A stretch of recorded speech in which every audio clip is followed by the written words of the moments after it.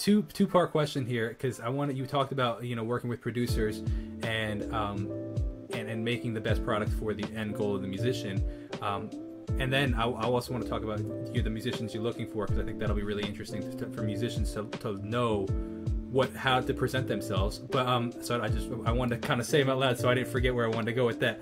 But um, how would you actually let's let's define that. Let's second part first. So what are these things that you're looking for in these musicians as the, as they grow, so that you know musicians that because I I let me back step a sec, sec because I, I love your mentality and I have a very similar mentality and um, people told me forever that it's impossible you're never going to go anywhere and now that I've started to get some traction I've proven it wrong to some degree and I'm not like hey screw you you know like I'm like hey I did it and you can too it, ju- it just sucked probably 10 times more than people said it was going to you know what I mean? So I'm like, if you want to do it, it'll suck. It'll take forever. You know, I thought I was be playing like uh, with Madison Square Garden in like three years. Well, like I'm not. You know, yet.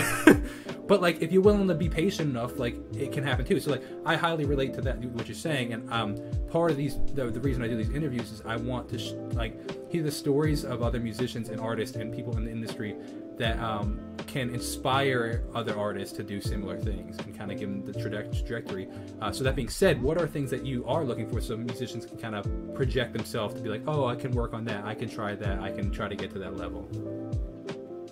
I think the key is, hey, I think songs are the most important thing. Like if you have like a really really good song, that's something that'll show through in any production mm. context for me, that's one thing I look for. Another thing I look for is that they have a good team, mm-hmm. right? So it doesn't matter how good of an artist you are.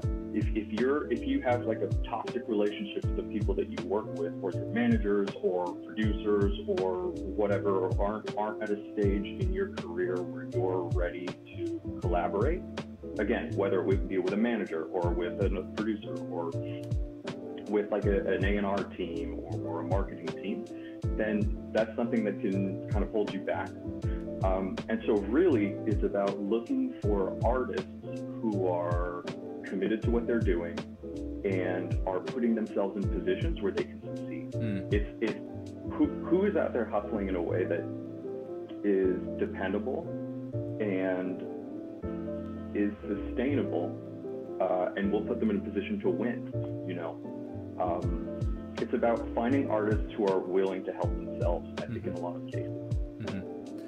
That is, I agree with that because I think, to, to some degree, to add on to that, I think that when the help themselves is like almost like make it happen themselves. Because so many, so many artists, you know, even even the people that I kind of reach out to me, you know, are like they're looking for a hand up kind of thing and it's like and it's like i want to help but it's also like you're not making it easy to help you know like you want to collab but like you want me to record everything you want me to write the song and you want to sing on the song it's like that's like not it's like a 91 to 10 percent split like if you like help yourself make it easy for these people like like go, the 90 percent be like hey you know like just an example like here's 90% of a song. Do you want to just track your vocal, like, you know, like as a collaborative like concept, but it's like, you know, making it, making the way for themselves kind of thing. Like, or not even trying to do the collab, just trying to make it on their own. It's, so I agree. I absolutely agree with that.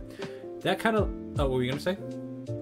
You, you, I also want to say that as an artist too, it, it is not only like the most accessible time for people to, you know, you don't need a label to, to, to fund an album. There are so many people who've done albums on, on shoestring budgets or singles to do very well. And so understanding, I, I, I also just want to say that as an artist, like there's so much pressure on you and it, there's something to be said for the perseverance that it takes to be, you know, and so, yeah, you're looking for artists who can help themselves, but it, it, it, takes so much courage to put yourself out there like that and to be ready to take opportunities as they present themselves to you. You know, meant like as far as like mental health goes and just being able to consistently deliver. I mean, there's just so much pressure on artists these days, and I, want to I want to know how difficult it is to to go down that path and recognize um, how much effort it takes and how well a lot of artists are able to manage. Mm. So that's all. Absolutely. No, it's it's absolutely true. I couldn't agree more. Absolutely.